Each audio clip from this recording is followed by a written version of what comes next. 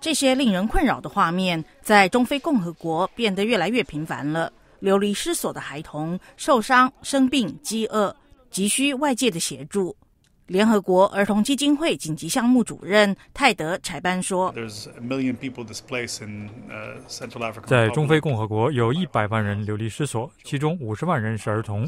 我们看到他们被虐待，我们看到儿童被袭击，他们被兵队招募。我们估计，大约有三千五百到六千名儿童在不同的武装部队里，他们也暴露在疾病之下，他们没有上学。”那里现在是一个儿童最不容易生活的地方。自中非共和国首都班吉上个月初爆发战斗以来，已经有超过一千人丧生。联合国儿童基金会和他的伙伴已经证实，至少有十六名孩童被打死，另有六十名孩童受伤。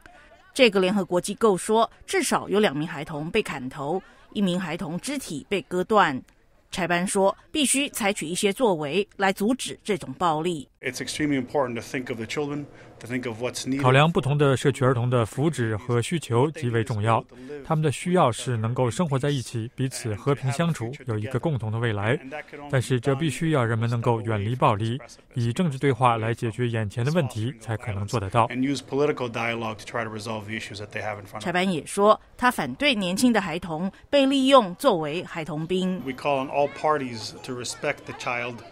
我们呼吁所有各方尊重儿童，确保任何小于十八岁的人不会从事任何形态的武装冲突，释放并协助任何在错误下与他们在一起的儿童，即便这个儿童自愿加入他们。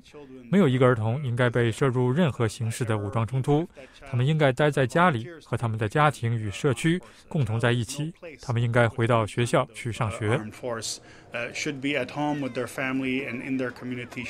联合国儿童基金会说，他今年需要六千四百万美元来提供中非共和国人道主义援助。不过，到目前为止，他只收到这个数目的三分之一。